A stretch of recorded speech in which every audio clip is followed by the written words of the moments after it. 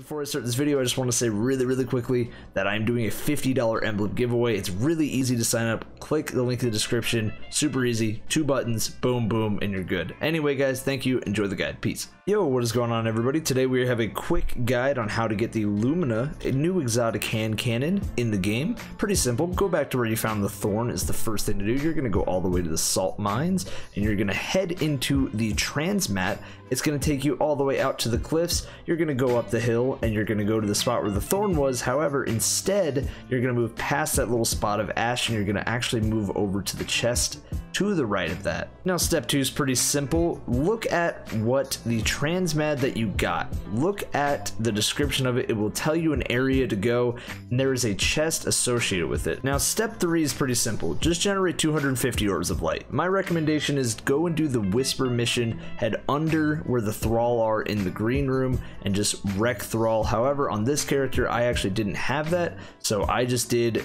the lost sector on the top of Mars. Step 4 is pretty easy as well.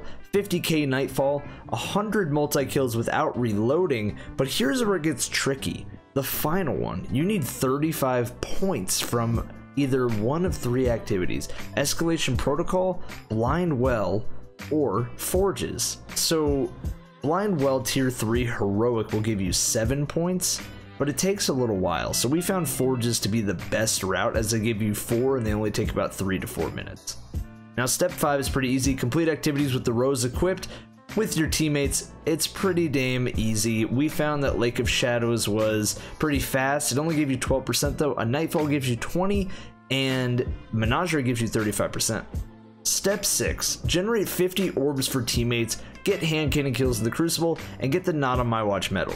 The Not My Watch medal is pretty interesting because it doesn't list it in the description, but you have to kill an invader before he kills anybody else within 10 seconds. It doesn't specify 10 seconds for some reason on the quest, but just if it's not proccing, it has to be within 10 seconds. Part 2 of this is the hand cannon kills. You get 5% when you get a kill with the hand cannon, and you get 3% when you assisted a kill with the hand cannon. And finally, just generate orbs for teammates. It has to be your orbs, it cannot be the other orbs, and you are on to the next step. The final step is to shoot 11 crystals with the rose in the Will of a Thousand strike on Mars. It's pretty straightforward. You just shoot the crystals. There's way more than 11 of them in the strike. They actually give you a harmony buff, which is kind of cool, and you beat the Will of a Thousand strike. It doesn't have a specific area. It literally is just the one, the planetary strike that you can pull up at any time.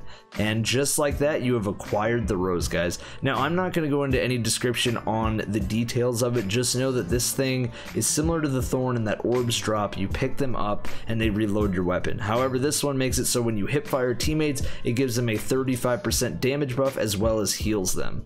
So it's really cool, it has aggressive tracking as well when you shoot those hip fire shots. It's a really fun weapon and just overall it's fun time. I am going to leave you a card and a link to Ehroar who does very, very good in-depth stat analysis on this kind of stuff. He made a really good guide on the Lumina and what it buffs with, what it doesn't buff with. I think you guys should go check that out. And we're at the end of the video, so if you did enjoy this, a like would be greatly appreciated, as well as a subscription.